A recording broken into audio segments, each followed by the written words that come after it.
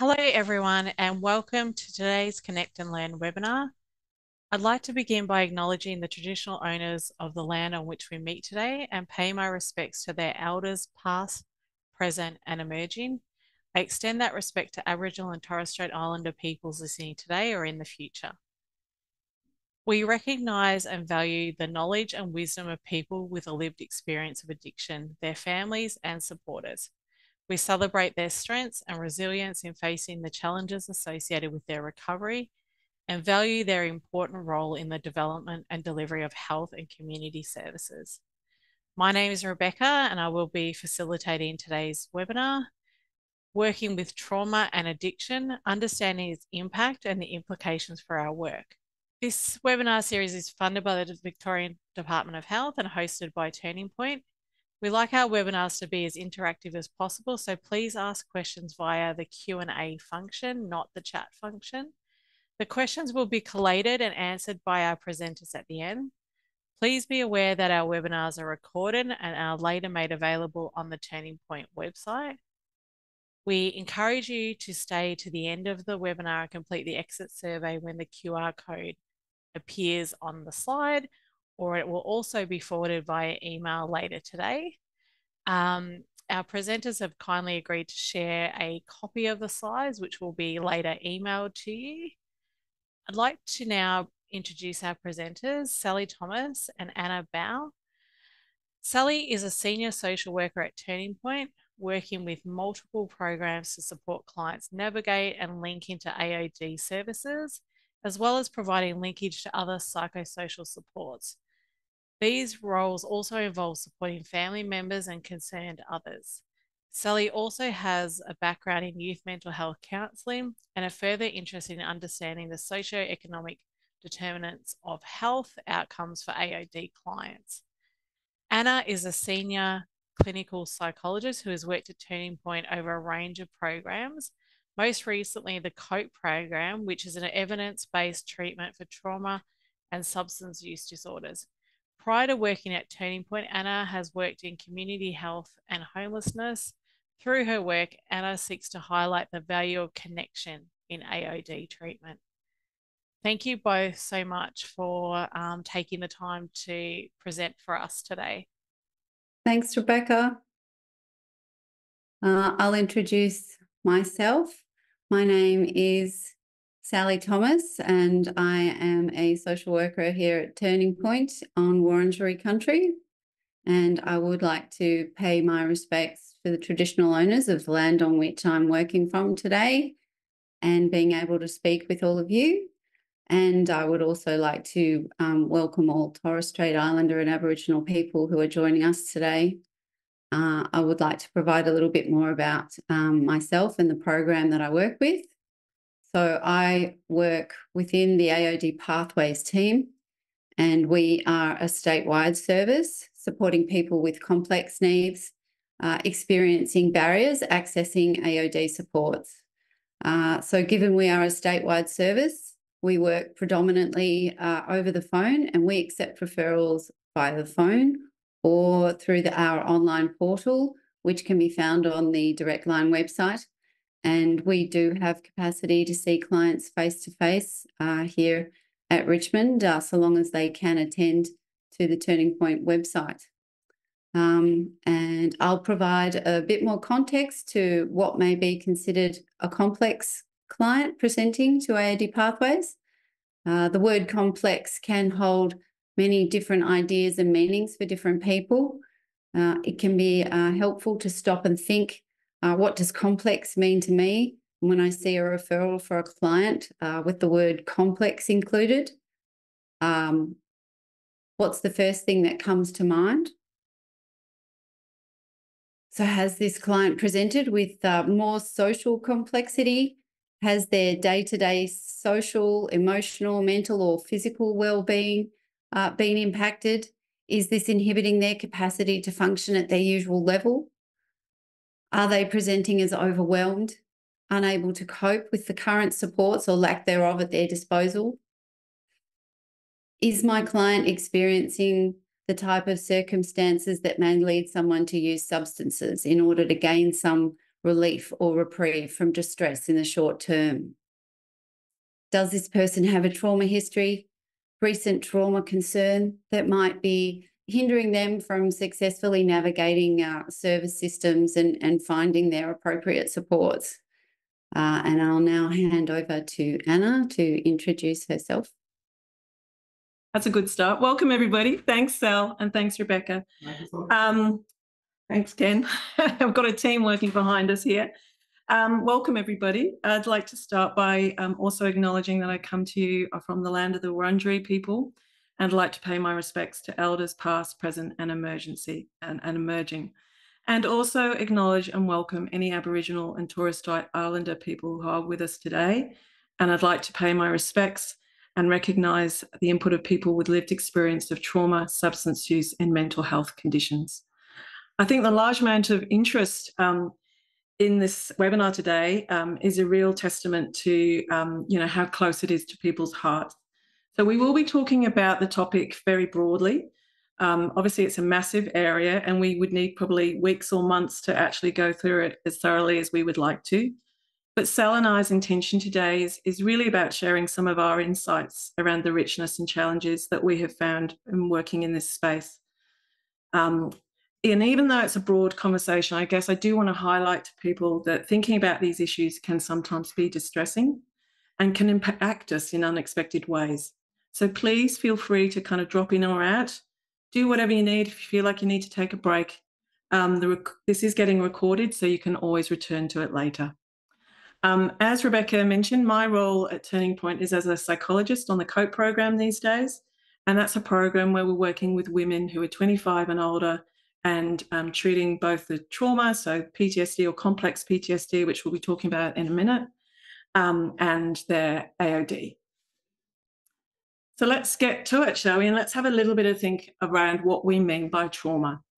So trauma is really any event that involves exposure to an actual or threatened death, serious injury, or sexual violence, and it has the potential to be traumatic for that individual. It can impact a person's physical, emotional, cognitive, and social well-being and their relationships, and can be caused by humans or it can be natural. It can be two types. It can be that single incident of unexpected trauma, which might be something that we kind of more commonly associate with PTSD, or it can be that repeated, prolonged, cumulative traumas profile. And we'll kind of unpack these a little bit in a minute. But no matter whether it's a single event or not, these experiences can shatter people's beliefs about themselves, the world, and other people. I won't go into this in too much detail either, because we really, as I say, don't have the time. But just really the key point here is to recognize that trauma is a really common experience for people. Um, and particular types of communities can be more impacted as well as I say, uh, we won't have time to kind of unpack this today. I guess what most of us would see in the AOD setting is that often we're working with people that have an experience of trauma, and often that trauma is more complex in nature. But before we jump into kind of thinking about that more complex PTSD profile, um, here in Australia, the diagnostic manual that we use is the DSM 5. Um, so we thought it was important maybe just to highlight how PTSD is defined according to the DSM 5. So essentially, the DSM 5 speaks to four clusters of symptoms. So intrusions, avoidance, alterations in someone's thinking and mood, and alterations in their reactivity and arousal. What we know, and I think um, I imagine what many of you experience, is that often the people that we're working with have a more complex trauma presentation, which essentially means there are people that will have the symptoms of PTSD, but they'll also be experiencing difficulties with affect regulation, maybe some persistent negative beliefs about themselves, and struggle in interpersonal relationships. When this has happened, particularly early in life, these impacts can be exacerbated by their knock on effects, which can happen in a number of different domains, including physical health, ability to engage in things like education, more likely to engage in high risk behaviors, leading to involvement with things like the forensic system. And basically, often when it's happened early on in life, it's really that people have missed out on the opportunities to um, learn the things that a lot of us take for granted as adults and how we move in the world. Um, also, what I wanted to kind of mention here is that um, many of you probably heard of the Adverse Childhood Experiences Study, the ACEs they're commonly referred to, which really highlights the impact that these kind of experiences can have when people have them in childhood. So in that study, it found that there was an increased risk of chronic health conditions, so things like diabetes and heart disease, that people are more likely, as we know in the field, to develop substance use disorders, often with an earlier onset. They're going to be more likely to experience things like homelessness, poorer mental health, and higher rates of attempted suicide. What this study also highlighted was that the um, risk of these impacts increases with the number of adverse events that people have experienced, um, which again, I think is probably no surprise for people. Over to you, Sal. Thanks, Anna. Uh, so now, because we are talking in the context uh, of uh, substance use and trauma, I wanted to just give a brief, brief look at what a substance use disorder uh, can involve, include. Um, so uh, clients can experience any or more of the following uh, issues that are that are indicated on the slide uh, ranging from mild to severe, depending on how many criteria are identified and uh, how these can then impact the individual, their families, friends, and wider communities. I think that's something that's often uh, overlooked. This is not necessarily just affecting the person of concern. This has a tendency to affect everybody else around them. So it's quite it's quite important to look at the ideas of problematic um, patterns of substance use um, which would be leading to a, a, significant distress or impairment, perhaps to themselves or a family member. Uh, then this is uh, the idea that someone is using more than or um, longer than intended when it comes to the substance use that you've identified. Um, uh, people using um, over lengthy amounts of time um, spending a lot of time sourcing that substance, using or recovering from that substance, um, the effects uh, to uh, and the efforts to reduce or control that use uh, has been unsuccessful.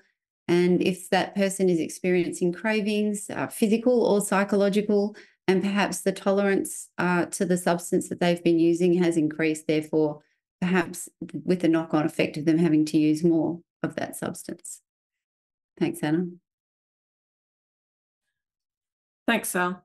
Um, so there are a number of theories that are being put forward to explain why trauma addiction can so commonly occur. Um, so for many, self-medication can play a critical role in the development and maintenance of problematic substance use.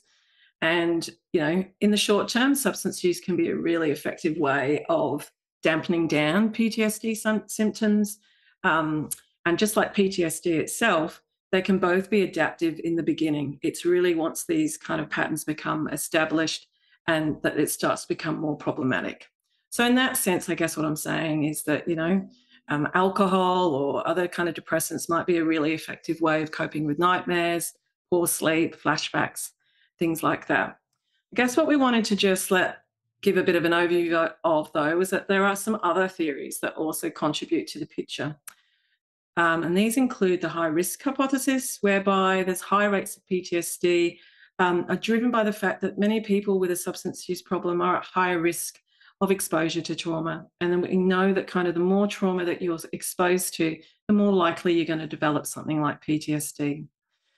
Also, there's a susceptibility hypothesis that's really suggesting that um, people with substance use disorders are more susceptible to developing PTSD after trauma exposure either because they might have missed out on those earlier opportunities I was mentioning in the slide before of being able to learn how to cope with things in the world, or in the sense that they may be physiologically susceptible from the perspective of having a dysregulated stress response system. And that can be a result of repeated cycles of things like intoxication and withdrawal. And as I say, this can predispose somebody to developing PTSD. And there are another, you know, there are a number of whole range of things of common factors that might be psychological, biological, psychosocial, um, sociological that can all contribute to this high rate of co-occurrence. Either way, at the end of the day, what we want the take-home message to be really is that when they co-occur, we know that each kind of serves to maintain and exacerbate the other. So that really kind of highlights how important it is for us to be able to hold both in mind when we're working with people.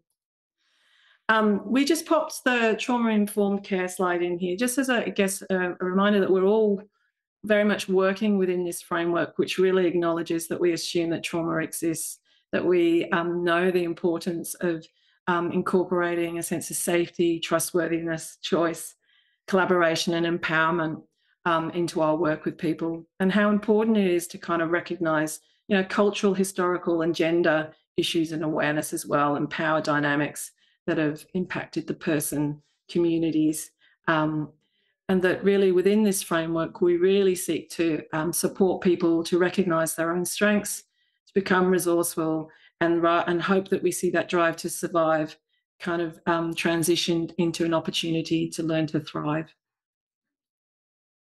Over to you, Sal. Thank you.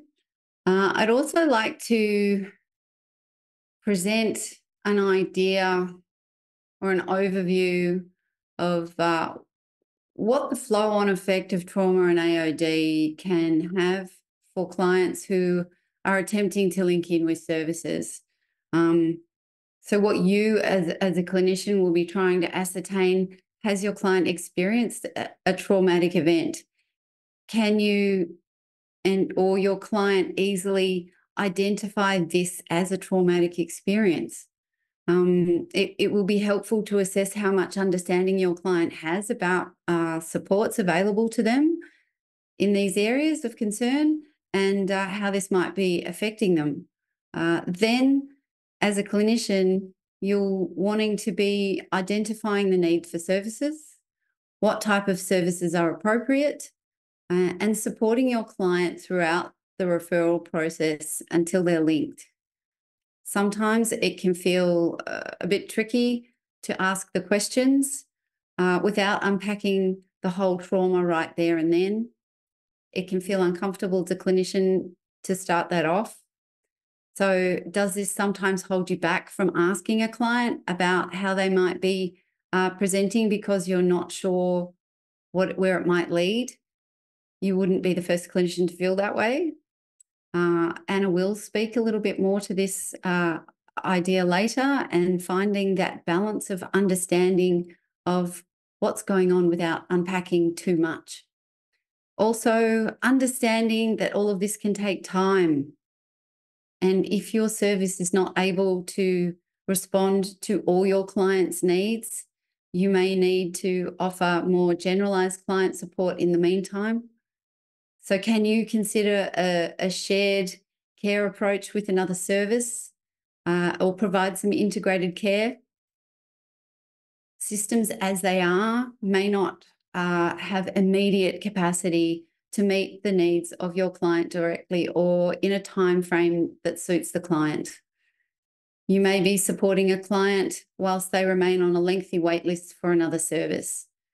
Uh, these issues can sometimes find us uh, working outside our comfort zone as clinicians. For example, if I'm predominantly a, a, an AOD worker, how much mental health intervention and support can I do, and vice versa? Uh, that's where acknowledging that we can provide generalist responses without being specialists in all areas. We can work through an informed lens of the other issues a client might have with whilst doing the work in our area of greater understanding. Supporting people's experiencing distress or difficulty is a very transferable skill. And again, we can go back to the basics, identify what's going on. What's the presenting problem? We can validate that presenting concern.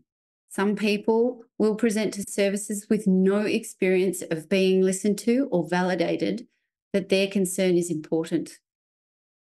Building that rapport with your client, your relationship with your client is key. As you build trust with a client, you will build better outcomes for them as well. We may not always be aware of how big an impact uh, the most simple client interaction can mean to someone who may not have very much supportive contact within their community. Clients with poor service relationships in the past may require a different approach, more encouragement to feel confident in using or trusting services. There may be um, quite an entrenched belief that it's either services or themselves will never be able to make change.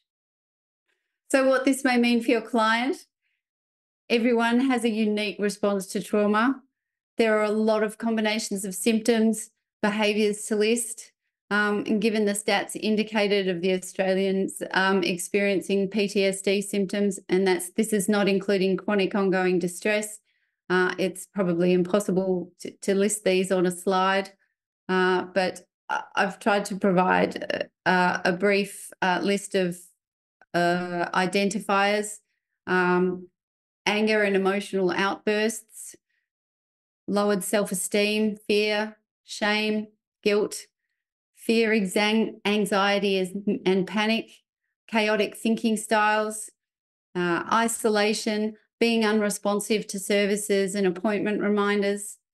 So, uh, with this in mind, the best practice can be to try and work through that trauma informed lens, uh, taking and talking in a safe and contained way about trauma without diving into the specifics. Uh, it's also important uh, to point out that this is nothing new to us. Uh, systems have worked at odds at odds sometimes with with some client groups for a lengthy period of time, and many client groups have reported uh, a repeated narrative of being ineligible for services and falling between the gaps. Historically, mental health and AOD services have worked in silos, uh, provided a message that the client needs to attend to their other issues before they can attend their service. Uh, this can seem very confusing and frustrating for clients and clinicians alike. And it also requires uh, a lot more capacity for us as clinicians uh, to manage client expectations and continue to provide a meaningful support to the clients. So, if we know substance use and trauma to be a co occurring set of conditions, why then do systems think uh, that these things can be easily compartmentalized? And a lot of the time, this is not realistic. The increase in complex client presentations at health services has increased. You're not imagining it a possible blend of COVID 19 and current social climate, such as ongoing isolation, financial distress, and a lack of resources to engage with appropriate and timely healthcare, can be linked to clients presenting to your service with more acute medical conditions or unmet health issues, um, adding another layer of concern to supporting your clients. Technology has assumed clients are capable to respond seven days a week, uh, often demanding a response and, and not taking into account a lack of possible tech access or capacity. As service providers, we do need to understand how this will impact our clients, ourselves, our teams, and our organisational systems. Thanks, Anna. Thanks, Sal. Um, so, in order, I guess, to understand how this might intersect um, with working in the AOD space, we thought it might be helpful to think, uh, well, to talk a little bit about Judith Herman's three stages of recovery. Um, Judith Herman was one of the seminal authors um, in the field of trauma and sought to really deepen our understanding of trauma and its treatment. I'm sure you know many of you may well have heard of her name and um, the books that she's written. So she really highlights that there are three st- important stages to thinking about how to support people in working through trauma. The first one, the stage one, really being about building up safety and stabilization, and given an example of a, a program that does this. But I guess if we're thinking about working in the AOD space, this is really where a lot of our services are. this is what we're dealing with. Um, what we're really seeking to be able to support people to do is to feel safer and more stable in their lives. And that might mean literally in their own body, it might be in their relationships. And as Sal's highlighted, those relationships might not just be those that are interpersonal or with themselves in nature, it might also be their relationships to services and organizations and community. Um, and this is where we, I think there's a really, there's a lot of work that we can do in this space.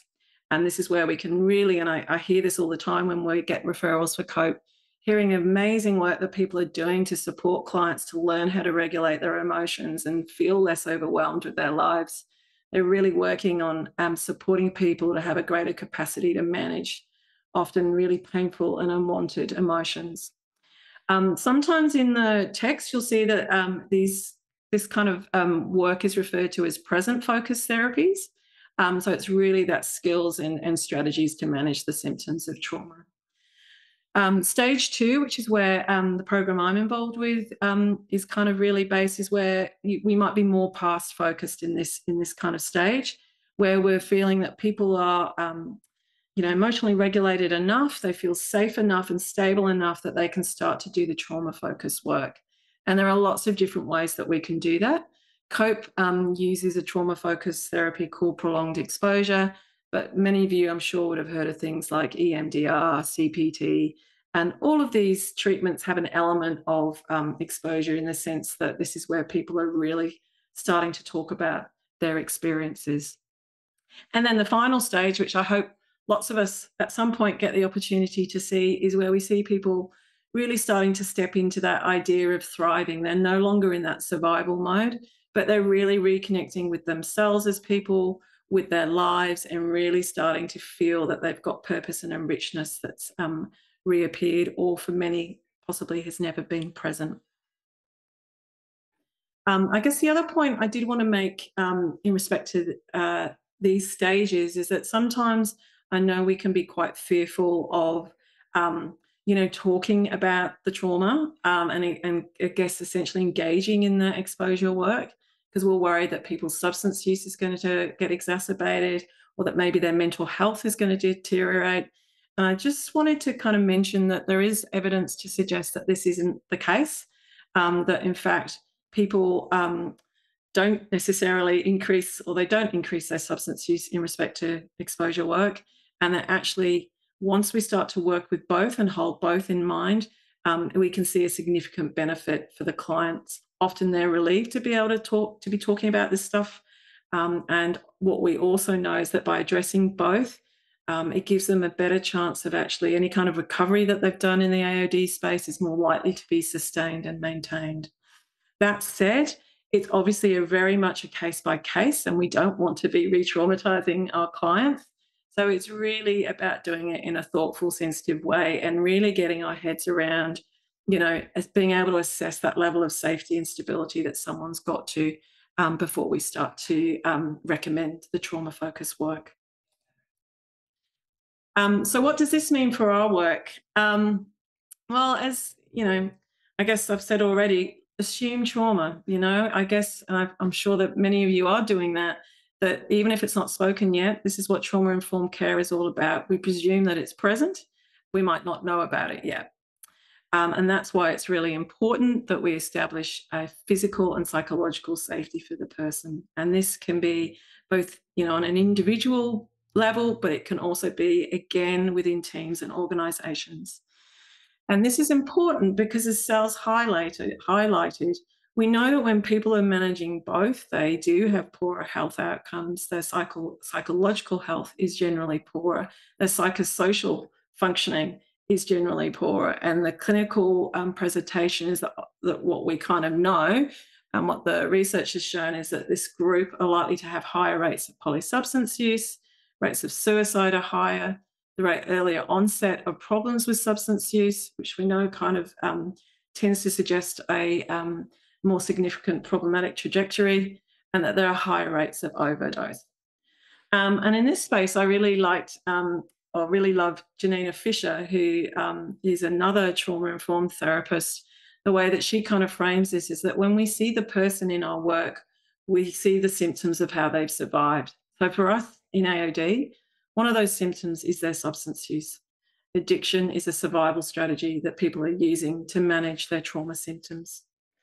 So in this space, what we start to see, and, and I think in that stage one material, we can start to see the it can be really helpful to give people psycho psychoeducation. They're living it, but sometimes their framework for their experiences is not there yet. So, what psychoeducation in respect to how these two, um, you know, I'm using disorder type language here, but you know, whatever language feels right for you. But when these two conditions are present for the people we're working with, actually being able to give people education around how it works um, can really help to validate their experience. Because I guess what often I've experienced in the work is that people are really framing um, the way that they're moving in the world is that I'm a psycho, I'm bad, I'm mad, you know, and these are often messages that people have received from people in their lives um, and they've really internalized them. And you can kind of get how that operates when often these experiences have started from when people are really young and it's actually been a way to cope in a really often scary and threatening environment where we need to still rely on caregivers so instead, we've internalized that in order to understand what's going on. Um, and I think that's, I guess, the main thing. As I say, you're probably going to hear me keep coming back to this, is just holding in mind both conditions. And as I say, I'm probably um, telling people a lot of what they already know here. Um, and I guess it's just holding in mind that by doing that, we're really going to be supporting people to make significant and sustained change. And hopefully, they experience that as developing a richness and purpose in their lives. So now, I guess when I started to think about this, I started to think about what it means for me when I'm kind of working with people and how it kind of reveals its itself, um, whether that can be in the room or sometimes in me. So I guess um, what I also want to speak to in the next few slides is really seeing that there are a lot of parallel processes here. So when I'm kind of talking about behavior here, really what I'm inviting people to think about is that we can pick up reactions in ourselves as well as in our clients. And all of this is really rich information for the work that we do. And I really highlight to people that if we can understand the people that we're working with, their behavior is being driven by a need, you know, what we might think is dysfunctional may be serving a really important function for them. And I guess that also speaks to what I was saying earlier about the psychoeducation component. Um, and I'm going to be talking a little bit about the window of tolerance in a minute. So I'll probably speak more around what can happen for us in that space as well. The other point here, again, I think I'm just probably highlighting a lot of what we're already doing is the importance of our of language. That's our tool of the trade, so to speak. Um, so really important for us to be sensitive in the way that we um, communicate with people. Uh, we'll talk a little bit um, in, a, in, a, few minutes about how to explore trauma. But I guess here also highlighting how important it is to be um, clear around managing people's expectations of what we can deliver and what we can't, which sometimes can be really hard in this space when we're seeing people that are really distressed we sometimes want to do more than we actually can. So just staying grounded in what can we realistically do for this person and helping them to just manage if there's a gap between that. I think often what people really appreciate is feeling held in mind and cared for, even if we can't kind of deliver a detox bed the next day. Knowing that that person cares and is working for them is, you know, is gold basically. Um, clearly, you know, this is the trauma informed stuff. We want to be collaborative, we want to be providing choices, recognizing power dynamics, which can be tricky when people are involved with systems like the forensic system or child protection, um, when there, you know, the reality is that um, there's an element that you can't be, um, you know, that, that there is a power imbalance going on there. Um, disease is, I've intentionally written it that way. It's not a typo. Um, I guess I wanted to speak here. I've already mentioned a little bit about physical illnesses and you know the high rates of chronic physical illness that we might see in this group. Um, you know, in addition to the ones I've said already, that might be autoimmune conditions, irritable bowel, um, hormonal um, issues for women, chronic pain that may or may not have a source. Um, which I think is a real testament to, the, I guess, the interaction between trauma the body and the mind as well. Um, other things I guess I wanted to show is that, that disease might also be in how you see the person in the room with you. You know, the person may struggle to sit still, they might their posture might be a bit collapsed, or they might be presenting perfectly. That might not be particularly helpful in assessing for it. but um, because that's the whole spectrum of how somebody might be. But you know that person, and you will start to recognize what might be um, playing out as more an indicator of trauma. Um, other symptoms we might see, um, and we'd be no doubt familiar with, is like kind of high levels of impulsivity, things like driving recklessly, uh, misadventure, all that kind of stuff that people can engage in to get a sense of, you know, if someone's really shut down, those kinds of um, behaviors can help them to feel alive again. Deliberate self harm's another one, which kind of releases adrenaline and endorphins again to kind of make people feel something as well as things like compulsive sexual behavior, gambling, eating disorders. They can all kind of interact with history. At the end of the day, with you know, I think I'll make some assumptions here. What we tend to see in our AOD space is more of a complex trauma presentation. So, really, what we tend to see is that kind of emotional dysregulation and relationship issues rather than the kind of we might find that people are experiencing those intrusive and re-experiencing symptoms, but really what we're probably more likely to see in the stage one stuff is that kind of um, dysregulation. What does this mean for treatment? Um, well, as Sal has highlighted, it can be a complicated picture and it can be helpful in those days um, when we're finding it to be challenging working to remind ourselves of that. Yeah, we're here to do what we can. And often, you know, the things that we don't even remember, the things that clients can remember is incredibly meaningful for them. A phone call, a check in, remembering the name of their dog, or, you know, things that really mean that you've heard them and you've connected with them. So, as I say, I think really a lot of the work that we're doing in this space is helping folks to learn how to regulate their emotions and how to respond to their nervous system, which I'm going to talk a little bit about in a minute to learn to self soothe and reduce distress without needing substances in the mix. Now, for a little bit of light relief, I thought um, here we've got some great examples, I think, of some really great caregiving and attachment going on. So, um, you know, I don't, I, I, this is going to be a very brief overview, but attachment, the attachment system um, is really important in respect to experiences both as animals and as humans. Yeah, it's a neurobiological system that provides us with a relationship context for us to develop emotional regulation skills, to learn how to be in relationship with others and with ourselves.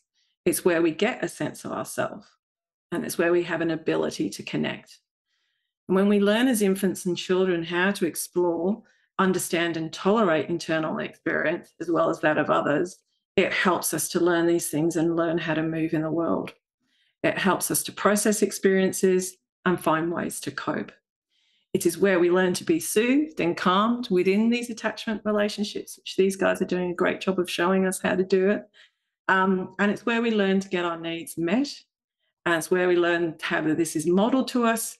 And that's where we learn to do it. So it's designed to be protective not telling you anything you probably don't know here, but obviously complex trauma interferes with this system. Its impact is reflected in brain structures and neurocircuitry.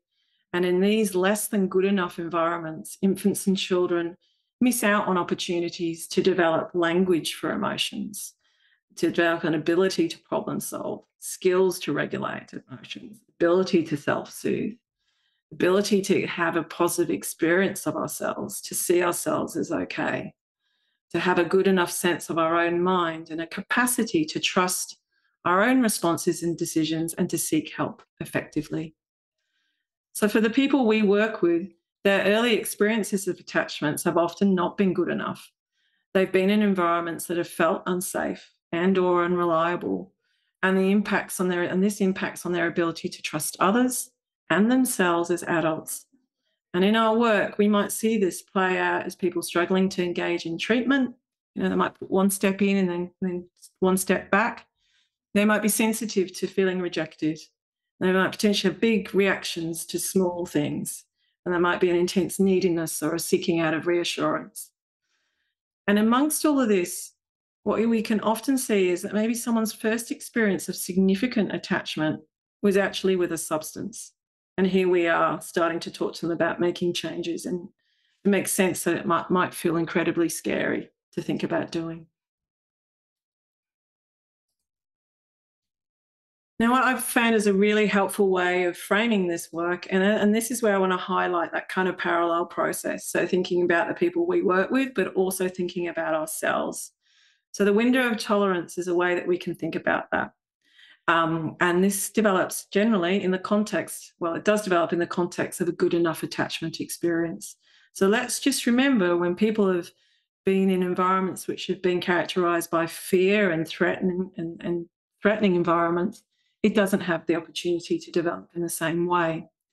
So often what we're dealing with is somebody that might have a really narrow window of tolerance unless they're using substances. So I'm going to talk to that in a minute.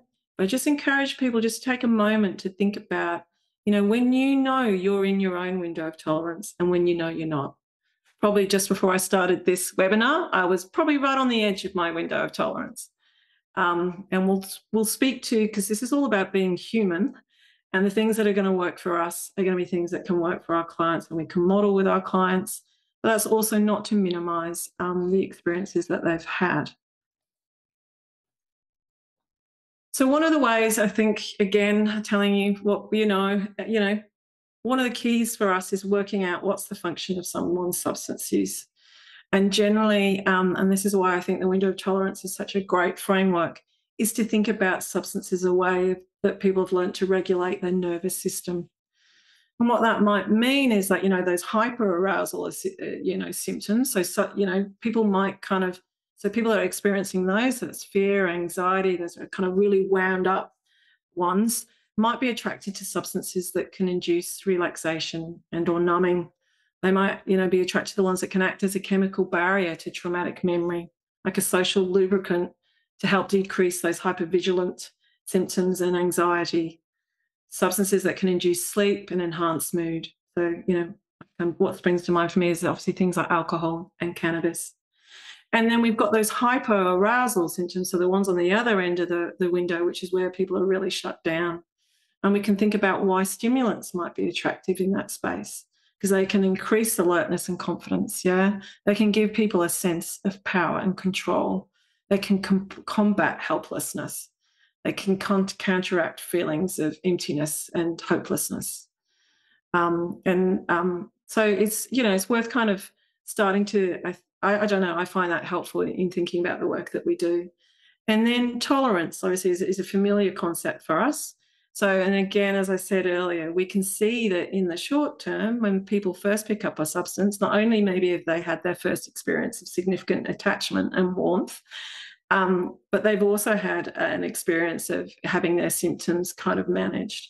So, in the short term, you know, it's initially helpful, but in the long term, people need more and more, as we know, and then it can become habitual, more severe, and then less effective. So then what we need for recovery is to really start to think about how to make changes to the substance use in a way that's going to recognize and treat both conditions.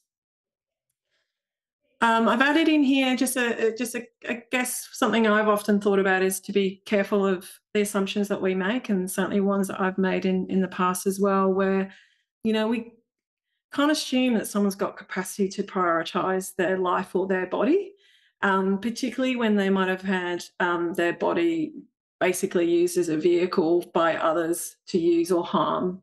So don't, I guess I'm just inviting people maybe to not take for granted that people care about whether they live or not. Um, to think about the, you know, trauma related shame and secrecy. You know, lies can feel safe and normal for people. Like to disclose the whole picture might feel unsafe for people. So to really kind of understand that that might be what makes it difficult for people to fully communicate. And it can be really scary for people to rely on others when maybe you've never had a significant experience of being able to trust and for another person to follow through and look after you. So, what we're asking them to do is to start to do that with us and to give something, substance which has been reliable to a point, to give it up. Um, also on this, um, I haven't put the point in, but I wanted also just to highlight when I was thinking about the window of tolerance stuff and the parallel with um, the people we work with and ourselves is to think about, you know, nervous systems talk to nervous systems. We need to know ourselves. We need to know how to kind of settle ourselves down because that's going to help us to be present with our clients.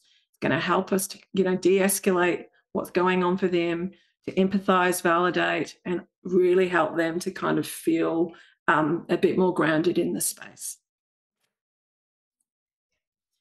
Um, so Sal and I, when we were putting this together, we're, we're, talking about, you know, it can be really difficult to know how do we talk about trauma, and particularly when I first started out, feeling like, oh, I can't talk about that at all. Like that, you know, I'm gonna, the person's gonna become really dysregulated and suicidal, and it's all gonna, you know, go to hell in a handbasket kind of thing. So, um, what we wanted to say here is, as I was saying earlier, that's not that's not the case. Yeah, what we want to be able to do is to prep the person so, really, what that means is kind of asking the client's permission to um, ask them about exposure to traumatic events and to be clear that they don't have to talk about these experiences or provide any detail if they don't want to. We want to be clear why we're asking about past trauma. I think Sal mentioned this earlier. It may not be obvious to the person how their current situation relates to the past. So, explaining to them that the questions relating to trauma will help to contextualize their substance use which will also help to gain a better understanding of the relationship between the two and what kind of treatment might be most helpful at this time. You want to also flag with people that talking about traumatic events can be distressing. And that might include folks who I'm sure we've all worked with people that really, really want to talk to you about everything that's happened. Um, they really want to give you all the details. And in those situations, it can be really important to help them to kind of not underestimate the level of level of emotion that might come up for them.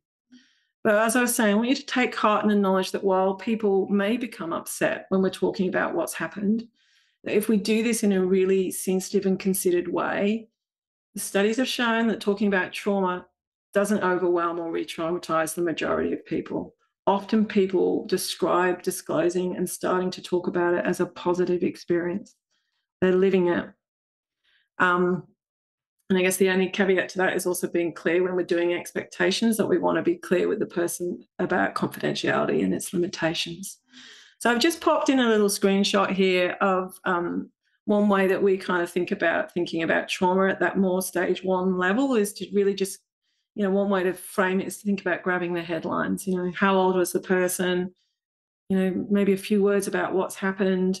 Um, and how they were, you know, did they tell anyone? How did people in their system respond when they did disclose it? Whew, good oh, enough for me. Over to Sal.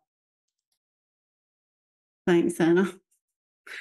Uh, so I'll, I'll, I'll, offer to uh, provide a, a brief overview of what this means for clinicians and on a personal level, being faced with more and more clients, perhaps with increased complex presentations, we may start to feel out of our depth, uh, unable to properly respond to a client's needs. Uh, if any of these things feel familiar to you, uh, they may um, have an overwhelming demand on your service that will start to uh, uh, impede your capacity to support each client. You may start filtering by complexity or um, placing, uh, sometimes we need to place unrealistic burdens or demands on the client to remain engaged with wait lists.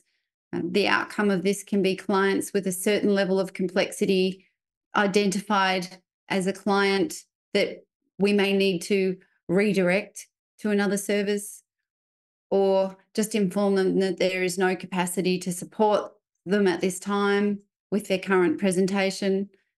And this means more and more clients may be falling through the gaps, not having their needs met by services, uh, and uh, experiencing a, an entrenched narrative that they are too difficult, too complex, untreatable, and I don't think that's the, the message that we want to be providing to clients. I don't think anybody wants to be providing that.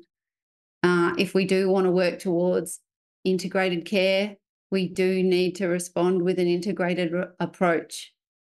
As clinicians, we may need to consider ways that we can broaden our approaches and to support uh, this by broadening our networks. We can provide generalist responses to clients without being that specialist in all areas. We can set the basics We can identify what's going on for the client. We can validate those concerns. We can build the rapport. Your client is coming to your service or continues to come to your service for a reason. They might present with one or more of the behaviours already identified despondent, feeling hopeless or helpless or overwhelmed, all red flags of trauma. And the key is they are actually coming back to you. And that means that they have a relationship with you that you can build on and an opportunity to do the work. And that means it might just look a little bit different than you expected, but perhaps it's possible. Thanks, Sal. Oh, great. It's you again. So please don't underestimate the work that you do, your ability to be kind, non judgmental, and to listen. Your perspective of that therapeutic relationship here may be vastly different to what your clients are experiencing. And what you may consider as a very run of the mill check in call might actually mean so much more to your client who may not have any other positive or caring contact in their life. You may be the only person who has asked them how they are or spoken kindly to them. And for our teams, working with complex clients without a network may be increasing those uh, levels of compassion fatigue, burnout, low morale, feelings of hopelessness and ineffectiveness of our own. And one thing uh, I would like to acknowledge, and one thing that we can do for ourselves is um, understand that what we do is by no means straightforward. What we can do, reflecting on why we do the work that we do in the first place, it's always helpful to jog us back to remembering why it's worth it. Talking about supporting ourselves and our own well-being is key. With capacity does come limitations. Everything has its limits, and it's okay to know where they are and what you need to do to keep yourself and your well-being at the forefront of your work. Role modeling for our colleagues and our clients, the importance of self-care is something that we can do on a daily basis and work that emphasizes it's okay to have good self care in place. It's okay to set good, healthy boundaries.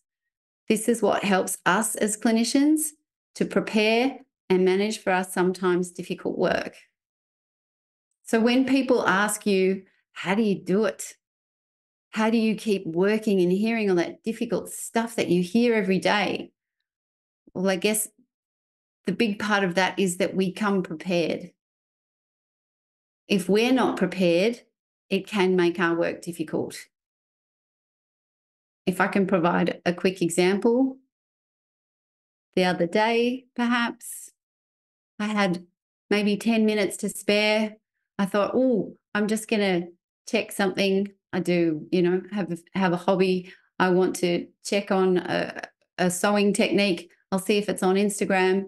Something very uninvited came into my Instagram feed. I suddenly felt incredibly overwhelmed. It was quite, quite graphic imagery. I felt hopeless and helpless in that moment. I started to feel guilty that I wasn't able to do anything about this information that was being offered to me. And I thought, well, this is a little taste, isn't it, of perhaps how our clients might feel very often. But then if I have to go into supporting someone five minutes later and I'm feeling like that, so something that I thought was going to be five minutes of self care ended up being something that was quite the opposite. Uh, so I guess that's a little lesson in keeping doing the things that actually help us to feel more capable and confident in our work. Attending to supervision, because this is that privileged space for us. Discuss your clients with your interdisciplinary teams no one is expected to do this work effectively alone. We all need the support and input of our colleagues and our wider teams to offer more effective and holistic responses. Don't fall into the gap or the trap of feeling that you need to do these things by yourself.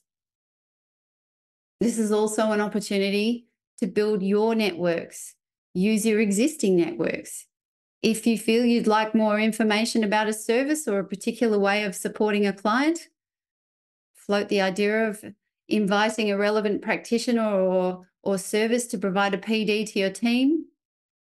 There are two statewide services numbers there up on that slide that you might feel like calling. You're most welcome to. Uh, if you have a particular skill set and you're happy to let clinicians tap into these, please feel free to email the AOD Pathways number and share your contact details. I'm always keen to hear about what other services are doing and what they can offer. Online meeting platforms have opened up the access and opportunities for information sharing as well. Maybe you could start sharing information online with like-minded services and, and, go from there and start building and sharing information about your services and gathering information about others in return. I think also it might be important to uh, recognize that for whatever reason, sometimes we can feel uncomfortable exposing the gaps in our knowledge. So does this hold us back from asking questions from other services or using that consultation support, seeking out secondary consult opportunities um, outside of our usual sphere? Do we need to build a more supported culture around capacity building and seeking advice?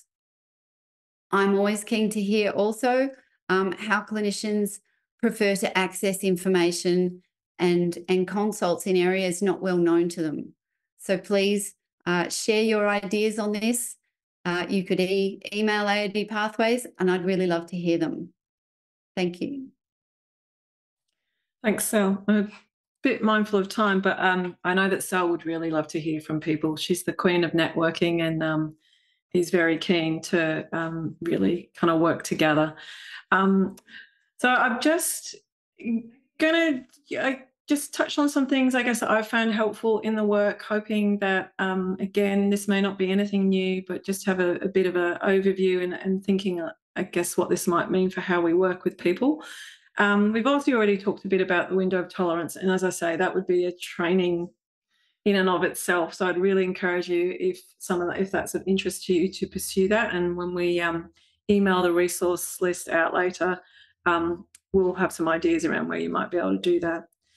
So um, I guess, as I say, these are all things that might be familiar with people, may not be as familiar. I guess one of the things I want to highlight in this list is um, how important things like breathing retraining can be, and maybe even kind of taking opportunities when we're face to face with people, um, and you sense is that their window of tolerance might be kind of getting, you know, they're outside of it opportunities to just do it with folks. Yeah. It helps them to calm down their system really effectively. It gives you a chance to see how they're doing it. Because um, I think sometimes in the past, I've probably made the mistake of talking theoretically with people about how to do stuff, and then they might come back later and go, oh, that, that didn't work. It's actually, I think, really important if you can to model it with people. Um, and with things like mindfulness, which um, we know can be really helpful in kind of managing um, urges to use and things like that. I just um, encourage you to, you know, when you're talking to people about this, just be really careful that they make a choice around kind of what type of mindfulness activity they might want to engage in. And sometimes it can be strategic to maybe think about initially um, keeping that intervention in an external environment, maybe rather than focusing on something that might be more tapping into how they're feeling, at least until you know the person. I think a great example with mindfulness is often getting people to think about how kids, little kids, move in the world. I think they're the best teachers of mindfulness and being in the present moment. Um, so, similarly, in respect to that kind of connection with body stuff, we kind of all know that things like yoga and you know the, the how you know I'm sure lots of people have heard about the body keeps the score. We kind of know that there is an interaction between our bodies, our minds, and trauma. Um, it's just being mindful of just being really sensitive in that space, depending on the nature of the type of trauma that someone's experienced. Um, just to be really um, thinking about how much or how ready someone is to connect with that. Um, Self care, Sal was talking about that as great. That's that parallel stuff I was talking about earlier. If we can really work on self care, then we're a great model to the people that we work with. You know, that real routine planning that we're often talking to people about in AOD, making sure that people are getting enough sleep, good diet, exercise, they've got meaning and purpose in their routine. Um, the other thing, as I say, you can maybe go away and um, bit mindful of the time, go away and, and, and look into some of this in more detail. But the other thing I wanted to highlight in this list is emotional awareness. We we sometimes talk a lot about emotional regulation and you know distress. DBT's got some great techniques in that space, but um, this is another one where maybe don't take for granted that people know what they're feeling. Um, sometimes our work is helping people to identify, you know, it might be even in their bodies when they notice a certain shift or a certain part of their body getting them to focus and think about what that might be telling them. Because often, if we think about those early experiences, people have not been in environments where they've learned that. Or maybe they've learned that positive experiences shouldn't be, you know, that's a bad thing. Um, so I guess it's very much look to the people that we're working with to get a sense from them what have their experiences of emotions been in their in their lifetime? Um, what do they know of you know how do they recognize it? And you can use things like feelings wheels and there's a whole lot of different techniques of doing that. Um, connection um, and here i guess i was thinking of not only safe connection to your body and um, as i've said you've got, we've got to be careful in that space i think a little bit but also connection to others and um, to community um, and that can be really scary for the people that we work with. So, really starting to think about how we can help people to make the, those shifts. Um, I put self compassion in here just because, and again, I think it can be really hard initially for people to kind of engage in this because they just don't have any of it.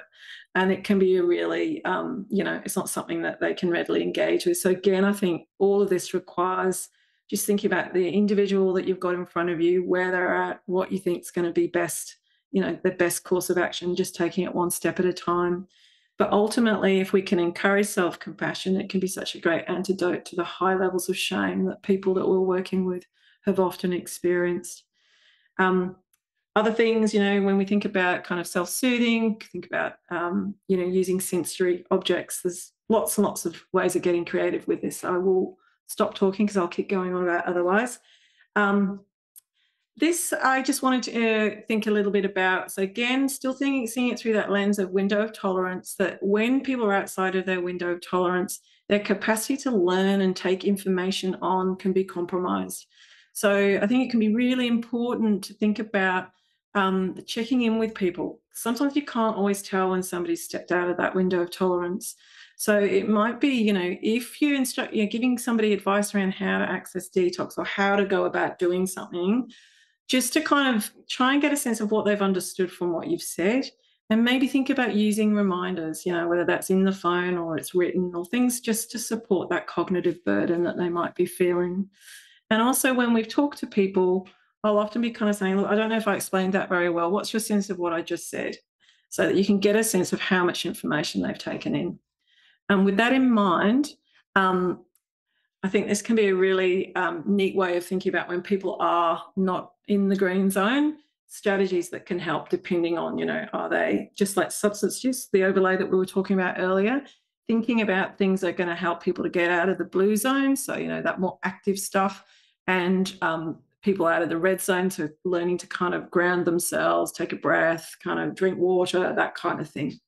Um, I'm pretty sure we have run out of time, but the next one, and as I say, we'll put it on the resource list. But um, I'm seeing schools these days that are doing a lot of kind of um, providing information on this. Just a really helpful way of that psychoeducation I was talking about earlier, helping people understand that you know when our um, prefrontal cortex goes offline, no one can kind of think clearly. That's not some kind of personal deficit, um, but that's again um, I'm going to keep talking, so I need to stop, don't I, Sal? So here we go.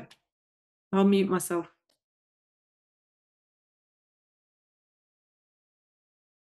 Thank you both so much. Um, and sorry, I know um, it's such a complex um, topic, and like you said, you could you could speak for weeks and weeks.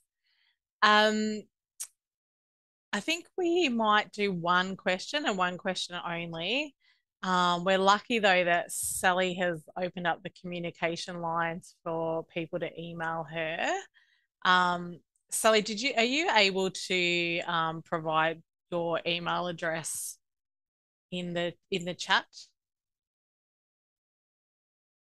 Yeah, I can. And I think I've put on one of the slides has got the AOD pathways email in there as well. Oh, fantastic. Okay, so the recording will be made available to everybody um, on our website, and the slides will be emailed later uh, this week. Um, our one question, and just a quick answer if possible.